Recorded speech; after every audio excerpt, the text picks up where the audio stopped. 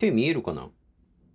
はい、こんばんは。手だけですけど、こんばんは、アギレコムです。今日はですね、いきなりなんかドアップ映像から始まってるんですけど、これ 55mm でね、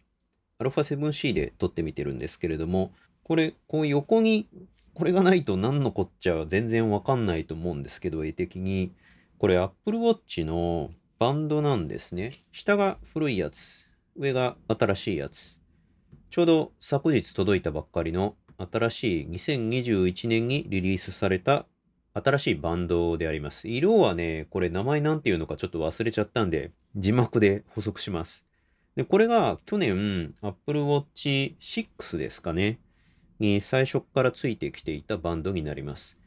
で、注目してほしいのは、指でちょっと説明してる間にずれちゃったんですけど、これでぴったりか。やっぱりね、1年この古いバンドを使ってる間に伸びちゃってるんですよね。長さ的に何にもこれ手触れない状態で約3ミリぐらい伸びています。新しい方のバンドが14センチのところにあるんですけれども、古い方はもう少し間延びしてるのがわかると思います。手触れない状態で14点、まあ2、3ミリかな。上から、まあ、優しく押さえる感じでいくと、まあ、3ミリぐらい、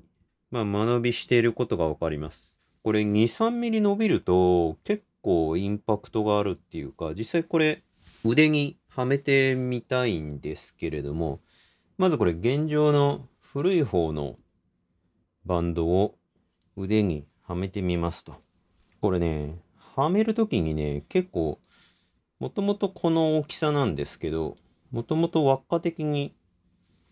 この大きさなんですけど、手にこうやってはめる段階で、私多分ここの、誰でもそうだと思うんですけど、手のこの第一関節の付近って結構太いんですよね。で、ここでビヨーンと伸びて、かつ親指一回くぐらせてのこうなんかシワが、ほらほら、シワが寄ったりとかするので、ここで一回ビヨーンって一回伸ばしてるんですよね、一回必ず。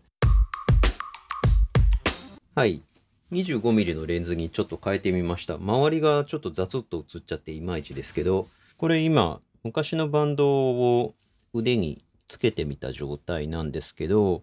結構ね、隙間が空いているのがわかりますでしょうか？置いてんの分かりますかね？ほらほらほら。完全これだけ浮くんですよ。前もって、採寸は、採寸をするツールが Apple 提供してるんですけど、あの、紙に印刷する物差しみたいなやつがあるんですけど、それでぴったりのサイズのものを買っていても、これだけ浮くんですね。極端なこと言うと。指1本ほとんど入るんじゃないかっていうぐらい浮いているのがわかると思いますと。なんか新しいバンド買うにあたって、なんか違うんじゃないと思って、一個ちっちゃくした方がいいのかなとと思って、改めてその印刷するツールでやってみたんですけど、結局そこは全然問題がなくて、同じサイズで全く問題ないと。改めてこいつを、新しいバンドを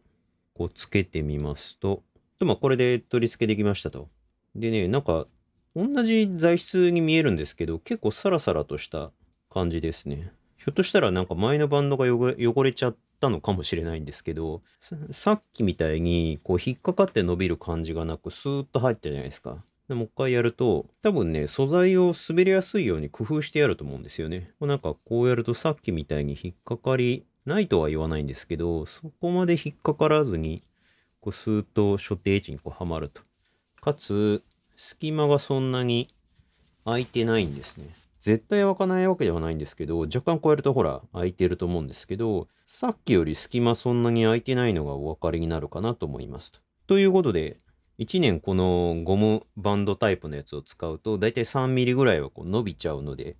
まあ結局、買い替え続けないとダメですねというお話でした。はい。面白かったら、いいね、評価とチャンネル登録をよろしくお願いします。ギレコムでした。